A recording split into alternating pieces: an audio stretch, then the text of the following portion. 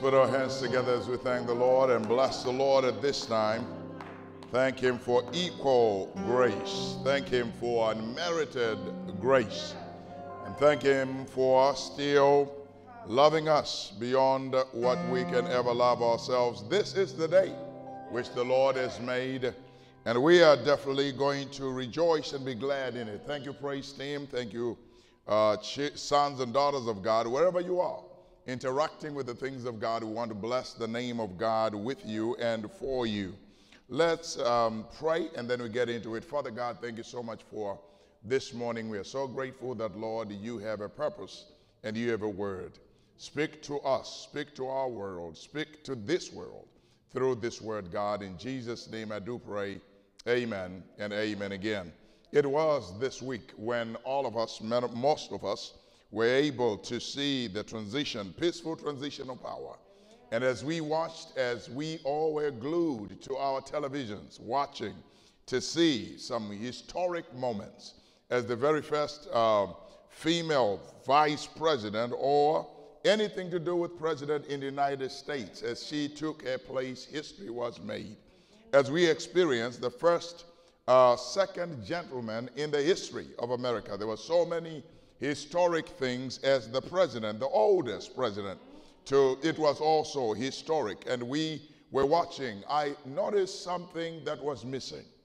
Out of all these things, in fact, then I was reminded that it had already happened before the happening had happened. In other words, as we we're looking at this inauguration, we noticed that the former president, who was still current on the 20th, was not there. And then we started wondering what was going on, and we discovered that he had already done, he wasn't going to attend. Brock tradition, which was more than 150 years. Everybody ought to be there, ought to uh, transition out of power peacefully in America. But one thing I discovered was that I said, well, he was not there, there, and so I wanted to go, I went to YouTube to hear what he had said before he left. And then something just landed, Sister Cheryl, on my heart that I want to share with the child of God today. I'm going to speak on the subject deal with this first. Deal with this first. And I'm telling you, this came from this great historic event that happened in America.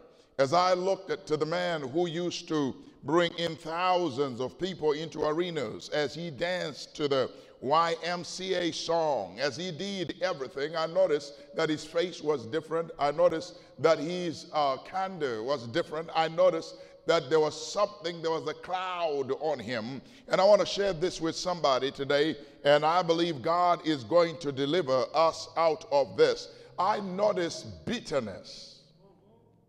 Bitterness. We are we now have a country that is divided over bitterness.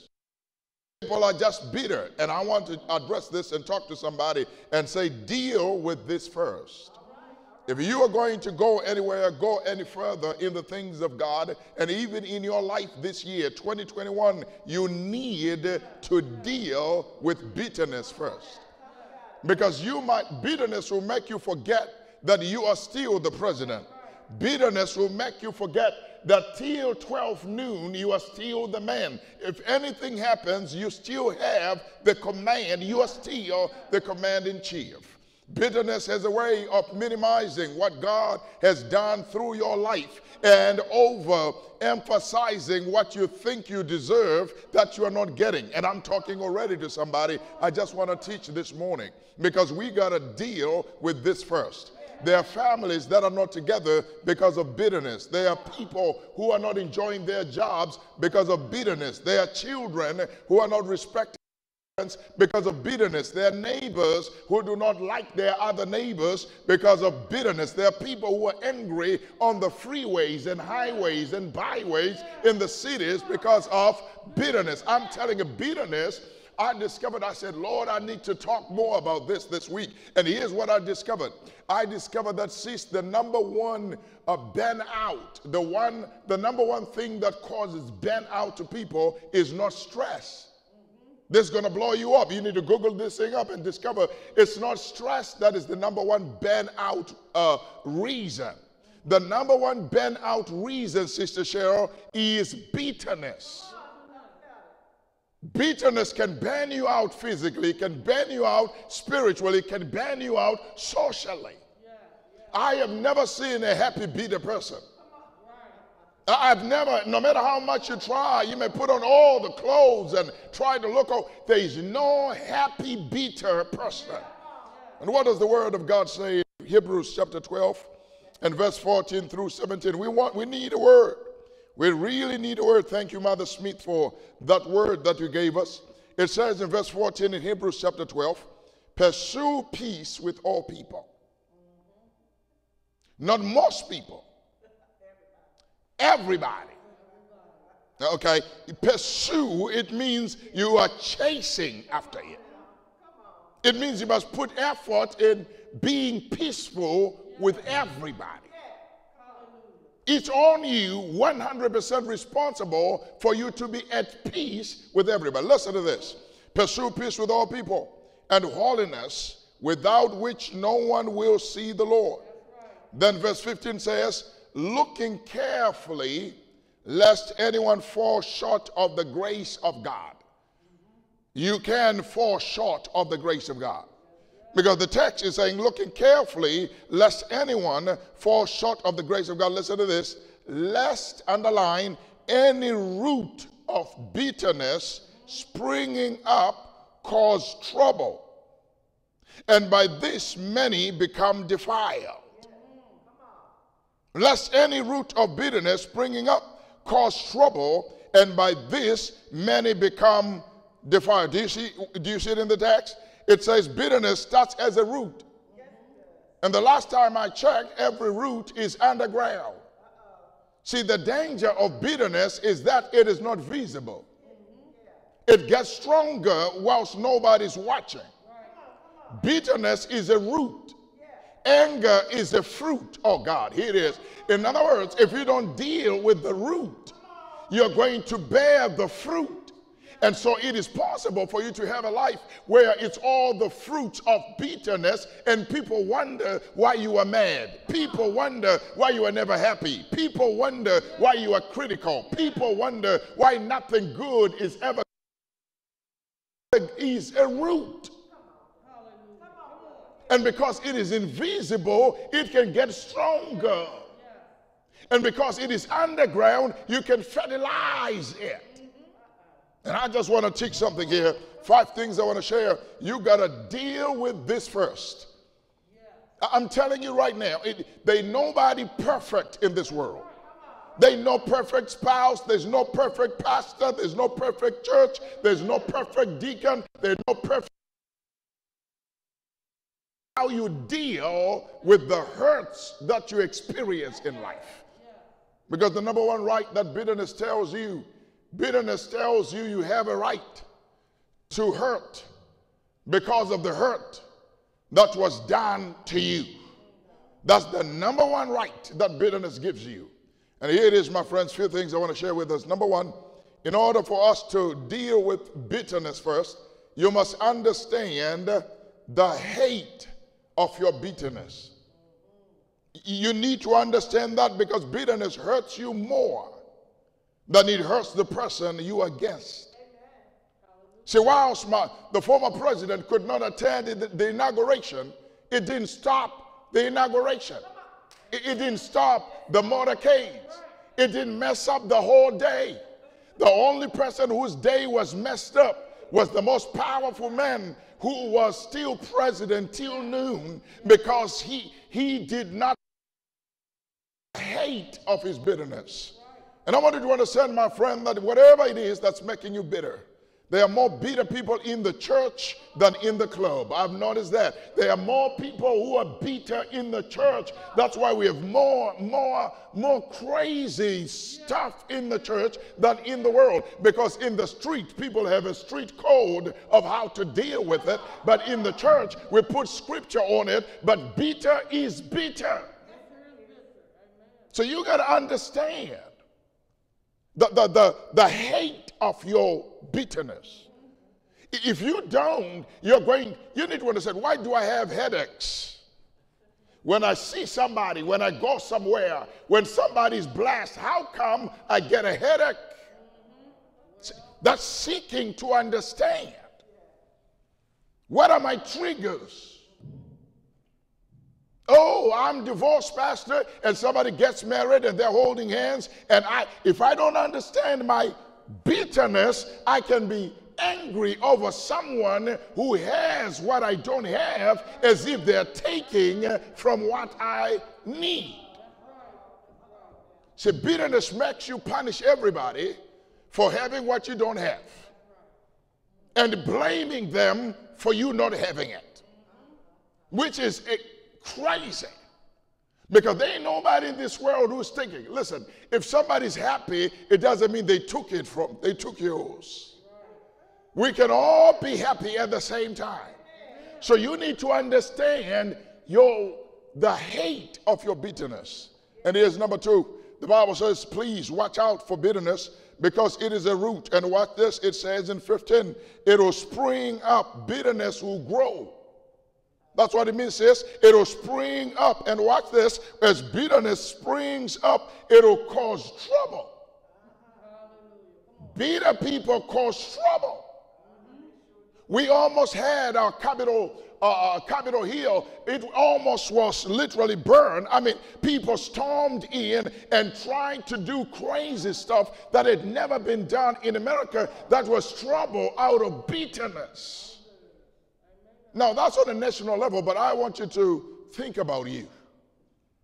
What is it in your life that's not flourishing because you haven't dealt with bitterness first? Who are you punishing because you are bitter that they appear to be happy without you?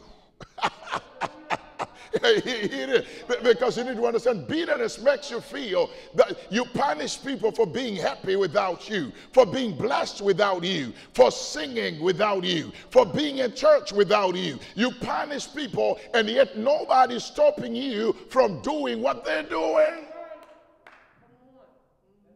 The president could have been at the inauguration. He could have been introduced as the president. People would have still wanted pictures with him. But because bitterness came and he simply said, Well, if you're going to be happy, I'm taking the ball, I'm going home, and there ain't nothing that's going to happen. And I've got good news for you breaking news. Everything happened. It's amazing that Bitterness, even in the church, the people who run the church are people who don't attend church.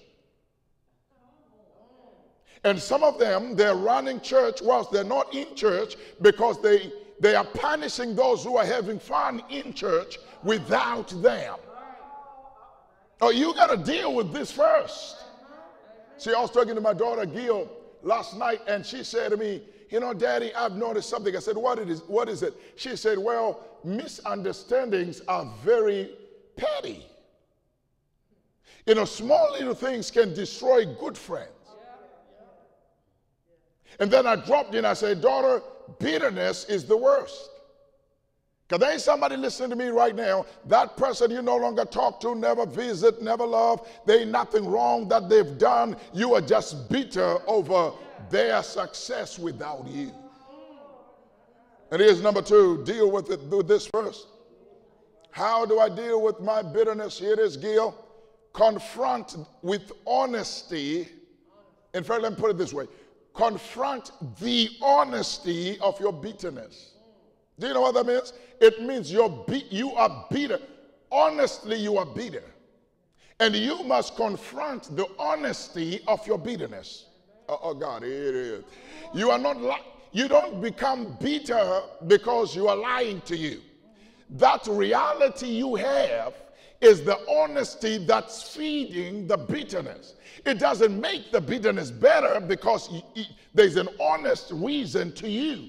But you need to confront whatever is, is backing up and making sense out of your bitterness. You must confront it because if you don't confront that, you're going to remain bitter and fake that you're not.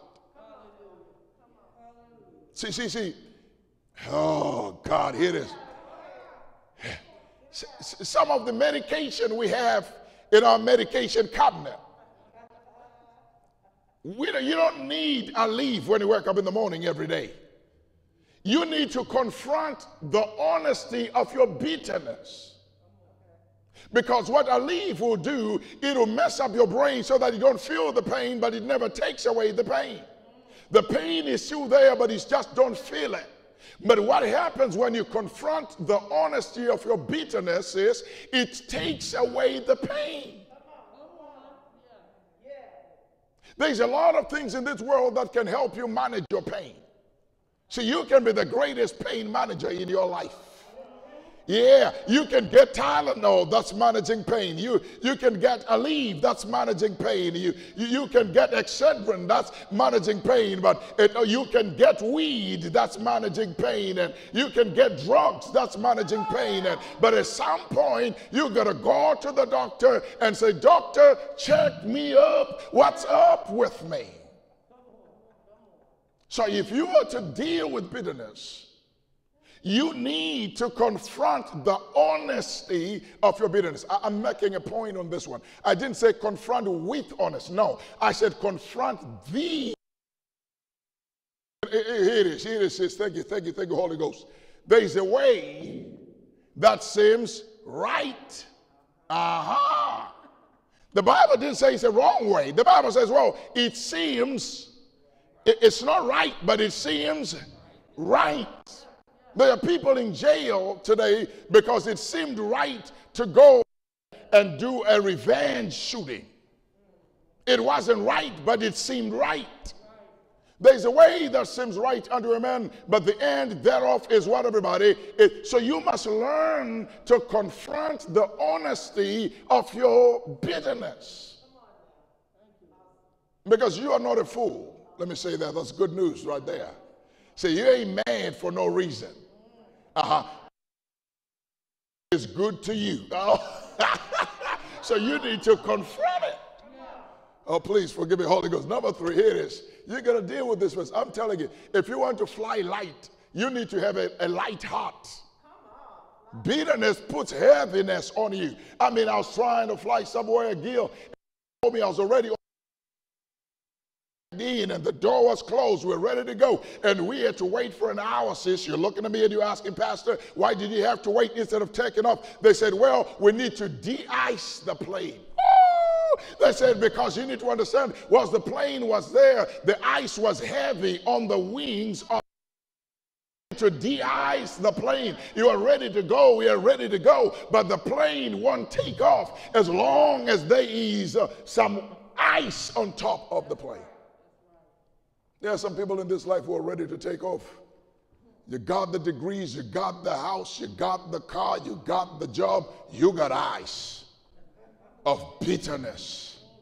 It's weighing you down. There are churches that are ready to fly and be in 15 multiple sites and do great things, but because of bitterness on the inside of the church, they are killing the greatness of the church. This is what bitterness does. You need de icing of it in order for you to take off. No, I feel like preacher here is number three. So, so, so, so understand that listen, it's hurting you more. It's hurting you more. You cannot enjoy your cake when you are bitter. You just can't. I mean, you complain about the salt in the cake. Eh, eh, have you ever met people who complain about everything? I mean, just complain because that, that you need to. Okay. Number two, confront the honesty of your bitterness. Number three, Number three is very important. Verse 15. Listen to verse 15. Look carefully, lest anyone fall short of the grace of God, lest any root of bitterness um, springing up cause trouble, and by this many become defiled. Is number three. Number three, it's amazing, Gil. Looking at this thing, everybody, listen to this. It says, uh, look, looking carefully, lest anyone fall short of the grace of God. You got that? The grace of God, lest any root of bitterness, the grace of God and bitterness, they are all put in the same concept. When I lose the grace of God, there's some things that can grow in my life. And as they spring, in other words, your bitterness is actually a revelation of your relationship with God. See, you can't have a great relationship with God and be bitter at the same time. No. No, no, no, no, no, no. You, you have to fall short of the grace of God in order for the root of bitterness to start germinating, and then you start watering it by having friends who are bitter. Birds of a feather flock together. By putting, watching negative things and reading negative things, and before you know it, when the president left, the former president, it was amazing that he had lawyers who were defending him. See, bitterness has friends. Oh, oh, okay, okay, I'll leave it alone. Simply because you have friends, it don't mean you are right. Simply because you got lawyers, it don't mean, oh God, can I say, simply because you have got sympathizers, sis, it don't mean you want action. That's on the national, but come down into your life. Simply because Betty and Jimmy and John call you and say you're right, it don't mean you're right. Oh, okay, okay, here it is. Here it is. Go to the heart of your bitterness. Go to it. Let me tell you something. Uh, people who can deal with it as courageous people. It takes courage for you to face your bitterness and say, I am done with this. I want out of this. But you will not get out of this without understanding what this is. What's at the heart? Said to me, Daddy, it's so amazing that the former president who just left this week is a 74 year old man, and the one who just came in 70, they're two old men. And one old man is acting like he's in middle school. So you got to go to the heart don't forget words that were said during the campaign. Somebody said, Well, if I if I lose, I cannot lose to this stutterer, I cannot lose to this crazy. See, you need to understand what you say before the final score can become the reason why you cannot humble yourself when it's true that you're not the man. See, see, I put something on Facebook. I said, look, when you are in your frustrated season, let you shut up. Just learn to shut up. Whenever you are in a frustrated season, hush. Well, the Bible puts it this way be still and know that I am God. In other words, when you are in a frustrated season, learn silence will cover you. Because nobody, listen to this, nobody can misquote silence. But you see, we say a lot of stuff that people, the devil, here it is. Whenever you say negative stuff, you are giving the devil material to work with against you. So when you are in a place, in a better place, the devil says, Was this you? Let me play the audio. Let me show you the video. And you are saying, Wait a minute, uh, I was mad, but I'm not mad anymore. And the devil says, Let's forget that. You must be mad. Look at your face. Look at how you're looking. Ain't no way you could be all right in a week. Get to the heart of your bitterness. can I say it? because seriously, you cannot be mad. I put something on Facebook this week. I said, I said, I said, don't be mad. Don't have relationship problems with people you don't have relationships with. And don't have friendship problems with people who ain't your friend. You didn't hear what I'm saying. Don't just spread your your your emotional economy to everybody. I, I mean, we meet in Walmart, you mad at me like your friend. No.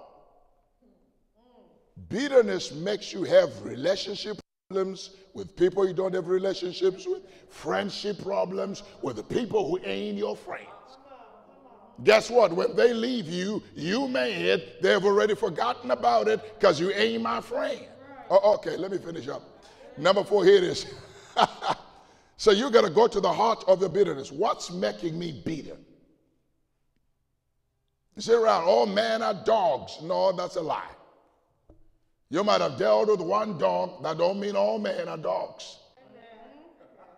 Go to the heart of your I don't trust nobody. Oh, you're going to learn to trust someone because the shirt you got, you didn't make it. The hair you got, you didn't make it. The mask you have, you didn't make it. Your car, you didn't make it. The gas in the car, you didn't make it. You're going to trust somebody here today. The traffic light that stopped you, you didn't stop it. You need to understand. You, you cannot live a life without trusting anybody. Oh, I don't trust nobody. No, go to the heart of your bitterness. What makes you not trust people? Pastor, I was molested as a child. Okay, now. You need to put a finger on it.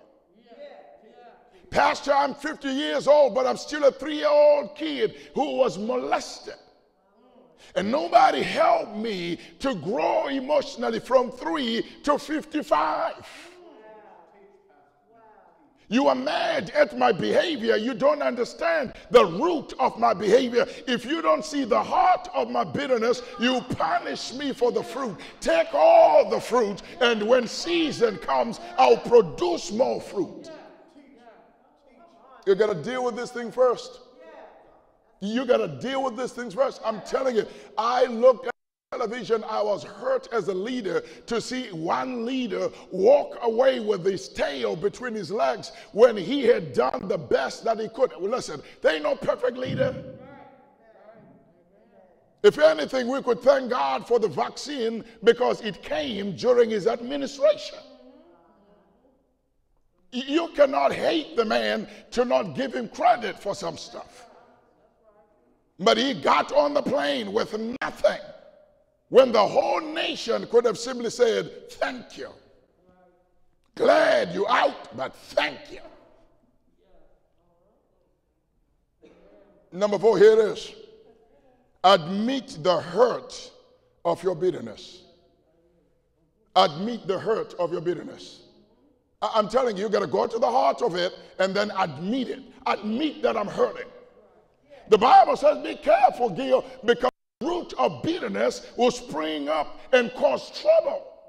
Trouble in your adult life, trouble in your relationship, trouble in your career, trouble in your walk with God. In other words, here it is if you don't admit to it, listen to me, you cannot look at God, you cannot love God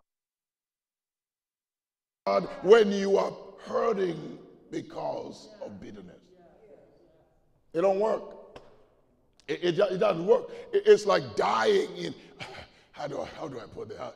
It, suffocate for lack of oxygen when you are on an oxygen mask. Okay, that's crazy, ain't it? Yeah, we try, I can see you trying to think. Uh, how, how can you, how can you, when you got the oxygen and it's, here it is. Admit the hurt of your bitterness.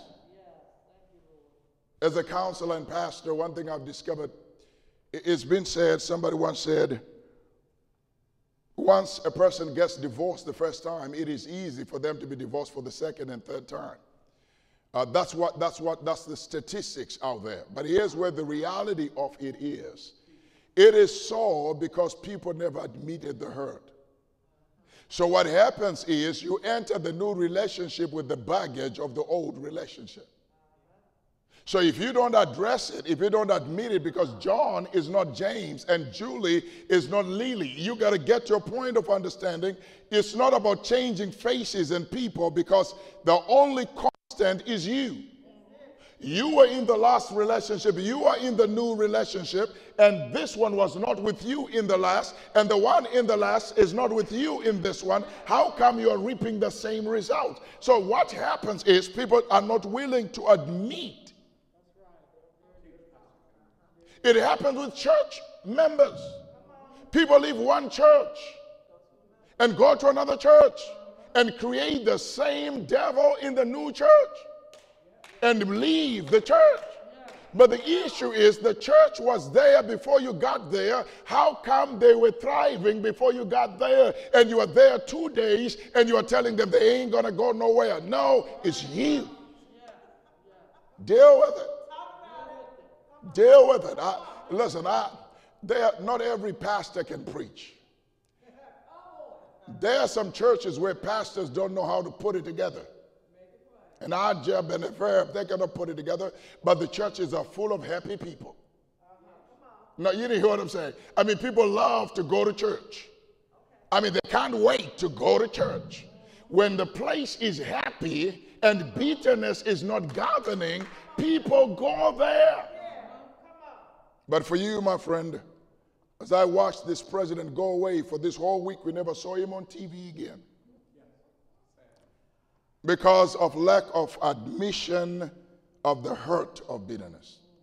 Bitterness, somebody said, it's like drinking poison and hoping somebody.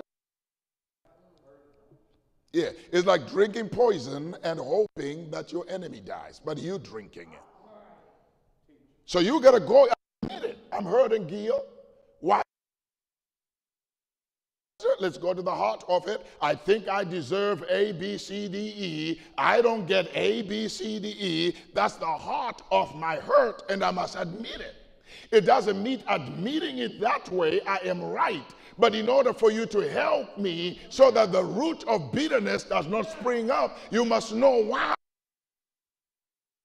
I am failing. And then the song you guys sang becomes true. Whilst you're in that place, when you admit your bitterness, it's as if you're singing the song, I feel like going on. That, that when you admit your bitterness, that's what you're singing spiritually. I, I feel like going on. In other words, I got to admit it because I want to go. Yeah.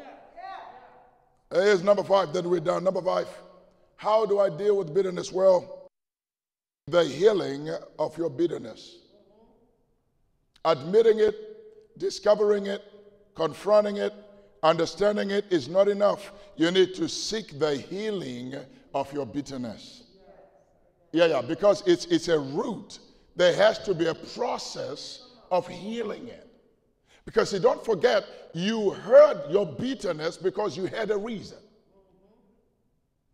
me with the children and I was alone. He never sent no money. He never came to see the kids. You, you are right. You are bitter because of that which appears to be right. But here's where the issue. Can I say this? This, this is this is crazy, Gil. I, I don't have time, but it is. Every reason you use to do what you do is right to you. Let me say it again. see, see, that's why Jesus said, judge not. Because the reason is not good for you, but it's good. But simply because it's good for them, it doesn't mean it's good to them. It's different. You know? so, so at the end, it's good to them, but it's not good for them. So here's the last thing that is very important seek the healing of your bitterness. Ephesians chapter 4, verse 31, then we're out of here. I, I need to let the Bible speak on this one because I don't want to start trouble. Ephesians chapter 4, verse 31, it says, well, listen this very powerful verse. It says in verse 31 of Ephesians chapter 4, it says, um, let all bitterness, not most bitterness, not little bitterness, all bitterness, justifiable, uh, unjustifiable, personal, corporate, let all bitterness, listen to this, anger, clamor, and evil, speak, uh, evil speaking, listen to this, be put away from you. See, I thought it was going to be so deep. But God says, let all bitterness, anger, wrath, and all that stuff be put away. So here's how you heal from your bitterness. Number one, you got to abandon it. Bitterness just needs you to abandon it. I mean, I'm telling you right now, don't dress it up, don't clean it up, don't water it up, don't fertilize it. God says, away, put it away. That's what God is saying. Your decision is so powerful to just put it away. That's it. I, I, it looks so simple, and yet it is so hard because I want to justify my pain. See, I want you to hurt like I hurt. I want to do you like you did me. And yet, God is saying, if you want to go on, abandon it. de-ice the plane. you don't need to fight uh, the snow, fight the flakes, and fight the weather. And oh, no, no, no, no, no. Don't even change the season, just de ice the plane. All you need is to take off, and when you are up there, it ain't cold up there like it is down here. You need to take off from down here. When you get up there, you don't need no more de icing. You are on your own. Deal with this first.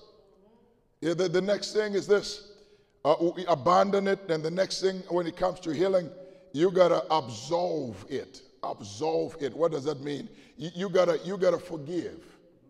You gotta forgive. I'm telling you, forgiveness simply needs Jesus and you. You can forgive the whole world as long as Jesus and you are together. And somebody says, Pastor, but I, I, how can I tell how to forgive? I'm glad you asked. I'm finishing right here. If you want to know how to forgive, you need to go to the cross and learn how you're forgiven. Go to the cross and learn how you're forgiven. But sis, don't just go for you to learn how to be forgiven. Stay there so that you can learn how to forgive. Oh God, hear it. You go to the cross to learn how you're forgiven. You stay at the cross so that you learn how to come down and forgive everybody because you got to deal with it. You don't need more money, you need to deal with your bitterness on your job. Someone less qualified than you is going to be blessed because God ain't for you alone. The God on the mountain is your God in the valley. When things go wrong, He'll do them right. So you need to understand you don't have to be the most qualified person in the room. Even the least qualified person in the room. Can, can, I, can I talk to you then I'm done? Joe Biden lost three times. He ran for president three times, uh, and this time, when he's supposed to be going to the nursing home, God sends him to the White House. See, you got to understand you ain't out. But you got to deal with this first. Bitterness will with bitterness, Gil, it'll change your wardrobe. When you are bitter, you want dark colors. Even your wardrobe, you need to go donate some things to Goodwill and Salvation Army.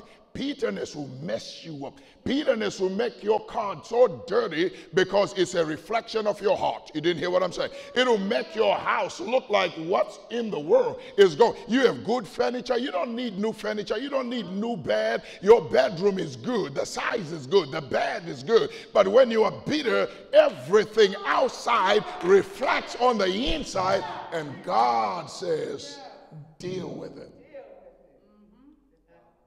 because it doesn't only mess you up. If it stays unchecked, it'll mess everybody who is around you. Amen. So I just want to pray today and let somebody go because it was on my heart. I, I said the nation need to hear this. Bitterness, man, bitterness. Bitterness will jack you up. You, you listen, you, you, you, you listen, you can be happy with nothing when you are free. So I just want to pray for somebody who wants to say, Pastor, I'm the one. I didn't know I needed this. But I've got some things I need to confront. I've got some things I need to understand. I've got some things I need to go to. I've got some things that I need to let go of because I'm only killing me. Yes. You are a beautiful person. Bitterness will put on some stuff on your face. That's not there. God created a perfect you. I mean, you don't have to run like me. I don't have to run like you. Just run you. But when bitterness comes in, it exaggerates everything and minimize everything in you. And we are praying, Father, we want to thank you so much for this moment today. And God, as this word went out, as this word will go out, we pray in the name of Jesus Christ that, Master, you may set us free. Lead us to the cross so that, Lord, we may understand how you forgave us. Give us the discipline to stay long enough at the cross so that we may learn how to forgive others. Uproot this root of bitterness from our hearts We want our families happy. We want to be happy on the job. We want our churches to flourish with happy people. People cannot be happier in the club than they are in your house because there's bitterness of power in the church. So, God, we pray that you may pull it up so that we may be free. De ice us, God, so that we can take off to the heights that you want us to go to. Forgive us of our sins. Heal that relationship. Heal that church. Heal that person. Heal that adult who's still hurting from childhood wounds. In the name of Jesus, sprinkle the blood. Amen and amen.